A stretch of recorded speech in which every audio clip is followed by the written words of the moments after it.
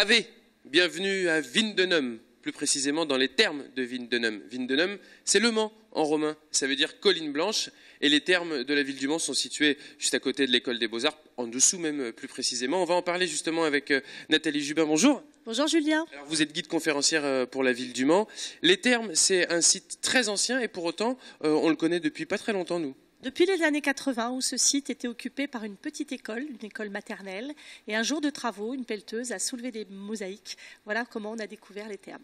Alors les termes, c'est un site euh, assez, euh, assez grand, assez profond. Décrivez-les-nous un petit peu avant qu'on aille plus précisément dans la visite.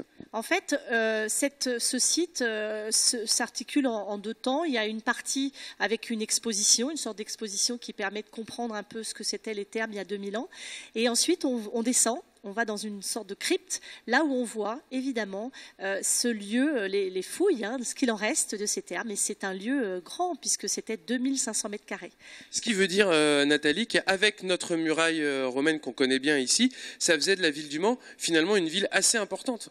Et oui, forcément, une muraille qui ceint toute la colline et des termes qu'on a découverts, effectivement, dans un lieu auprès de la, muraille d'ailleurs, hein, puisque la muraille se situe effectivement au pied de ces termes. On va le voir, par exemple, ici, on voit euh, le, les termes. Euh, la construction des termes et la démolition même au moment de la construction de la muraille. On va, demander euh, à Maxime de, venir juste donc les termes qui étaient ici et la muraille là, hein. c'est ça que vous reprécisez? Et à quoi ça servait euh, les termes, Nathalie? Ah, bah écoutez, c'était un lieu de sociabilité, c'est-à-dire un lieu où on vient pour se détendre, avant tout aussi pour se laver, puisqu'on n'avait pas de salle de bain. C'est aussi un lieu où on se rencontre, c'est un lieu où euh, on se fait masser, c'est un lieu de, bien-être, voilà où on peut faire des bains chauds, des bains tièdes, des bains froids. Même, euh, il y avait une salle de sauna. Une salle de sauna, d'accord. Donc en fait, c'était, est-ce que c'était un lieu pour tout le monde ou, plutôt pour, pour les notables? Alors logiquement, c'était pour tout le monde, c'était même très peu cher ou gratuit. Simplement, on voit très vite que seulement les gens riches ayant des esclaves à leur service avaient accès peut-être deux heures par jour, alors que les autres ne venaient peut-être pas ou très peu. D'accord. Alors ces termes-là, on l'envoie. Bon là, c'est pas c'est pas au Mans hein, ici. Hein. Si, si c'est les premiers termes du Mans dans les années 50 de notre ère. Si je vous dis, je pensais que c'était pas au Mans, parce que là, quand on regarde euh, cette colline qui est euh, Vindenum, en fait, euh, Vindenum, ça veut dire colline blanche, et là, pour le coup, il n'y a pas de colline. Hein. Oui, ça, c'est un, plan type d'une ville à la romaine. Comme, comme le Mans a été romanisé, eh bien voilà à quoi ça pouvait ressembler dans toutes les villes, mais le Mans était bien plus vallonné. Voilà Nathalie, là on a vu euh, du coup euh, beaucoup euh, d'images. Maintenant on va aller, bah, on va descendre hein, pour aller voir ce qu'il en reste de ces termes, faire une sorte de petit plongeon dans le temps si je puis dire. Tout à fait. Alors allons-y. Allez, on y arrive justement en bas, Nathalie, avec cette, cette maquette qui est en fait une, reconstitution 3D. Hein. Tout à fait, c'est les premiers termes du Mans dans les années 50, au premier siècle de notre ère. Alors ça c'est avant avant l'évolution, parce qu'il y a eu plusieurs évolutions, notamment euh, en ce qui concerne la mixité. Voilà, on pense que dans les années 100-120, un petit peu plus tard, on a dédoublé les termes afin que les hommes et les femmes puissent venir ensemble dans deux lieux différents, un peu comme à Pompéi ou comme à Rome. D'accord. On fait la visite, Nathalie? Allons-y. Donc là, c'est la première étape, hein, Nathalie, de, la visite. Qu'est-ce qu'on a sous nos yeux là? Là, on a un des bassins qui était un bassin chaud. Donc, imaginez une salle de caldarium, il y aurait quatre bassins comme ceci. Une salle de caldarium, c'est? Une salle chaude.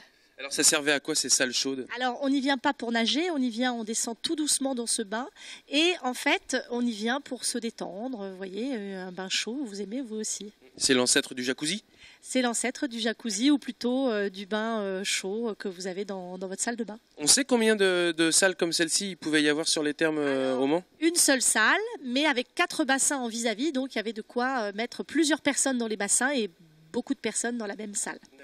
La visite, euh, ça se poursuit euh, vers où maintenant, Nathalie On va continuer un peu plus loin vers la salle chaude, qui est probablement un tépidarium, une salle octogonale. Allons-y. Donc là, Nathalie, vous venez d'en parler, le, tépidarium. C'est quoi ces petites, euh, ces petites piles, là, si je, peux m'exprimer ainsi? Alors, 180 petits piliers qui soutenaient le sol, qu'on appelle suspendu, et évidemment, passer sous le sol le chauffage, l'air chaud et les gaz chauds qui circulaient pour arriver à avoir un sol tiède, voire chaud. Alors, c'est quoi la technique de chauffage? La technique, ça s'appelle hypocoste et c'est même grec.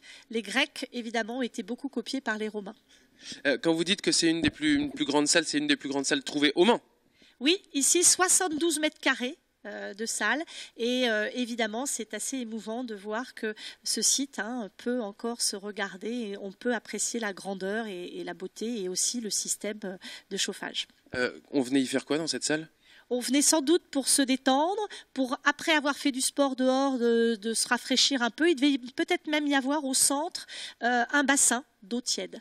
Alors il y avait de la, il y a de la mosaïque hein, normalement. Euh, enfin il y avait un sol euh, mosaïque qu'on peut retrouver euh, au carré Plantagenet? Oui, c'est ça l'avantage, c'est qu'un des petits morceaux de mosaïque retrouvés au moment de la découverte dans les années 80 est présenté au carré Plantagenet. Allez, on va continuer cette visite, Nathalie. Maintenant, on va se faire quoi? Allez, on continue. On va aller dans les égouts. Allons-y dans les égouts. Les tortues ninja. On y va, Nathalie, mais là je vois un préfournium, en fait, four de l'hypocoste. Oui, parce que évidemment, qui dit salle chauffée dit euh, la présence d'un four. Et là, on pense que le four avait évidemment sa place ici pour arriver à envoyer euh, évidemment des gaz chauds et des airs chauds. C'était du bois, hein, le combustible, évidemment. Hmm. Donc tout était, euh, tout était vraiment prévu. C'est une sacrée technique, à hein, mine de rien. Oui, les Romains étaient très doués, évidemment, en hydraulique, mais aussi pour la chauffe, hein, pour la chauffe des bains. Allez, maintenant, les égouts. Décidément, Nathalie, avant d'arriver jusqu'aux égouts, on passe par différentes étapes et notamment vous vouliez euh, nous montrer justement la, technique euh, des Romains.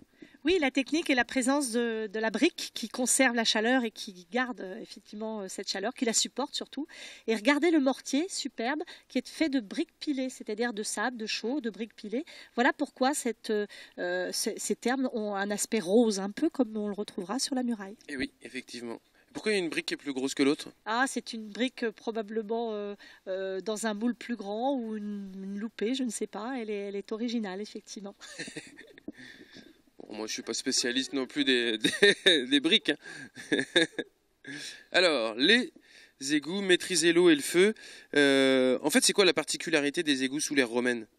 Bah, les égouts, c'est simplement que, bien sûr, si on dit qu'il y a des bassins, il faut aussi euh, faire des arrivées d'eau propre qu'on va chercher à la source, on les amène par des aqueducs, et on fait sortir l'eau sale par le même procédé, c'est-à-dire des euh, collecteurs, des collecteurs d'eau sale, et c'est renvoyé vers la rivière. Mais les, Romains utilisaient euh, des huiles végétales et des huiles animales pour se laver, donc ça devait être un peu gras, pas plus pollué qu'aujourd'hui.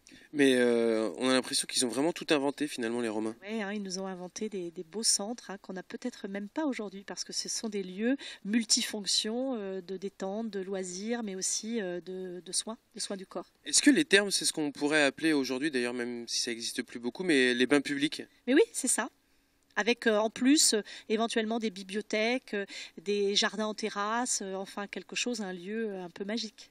Merci euh, Nathalie. Voilà pour euh, ces termes de la ville du Mans. Je vous rappelle qu'ils sont situés juste en dessous euh, des Beaux-Arts, donc avenue Rostov-sur-le-Don, en plein centre-ville du Mans. quelques, notamment la mosaïque, vous pourrez la découvrir au Carré Plantagenet. Et nous, on va continuer avec Nathalie Jubin à vous faire découvrir notamment ce côté de la muraille romaine. On va aller découvrir les pans cachés de la muraille. À tout de suite.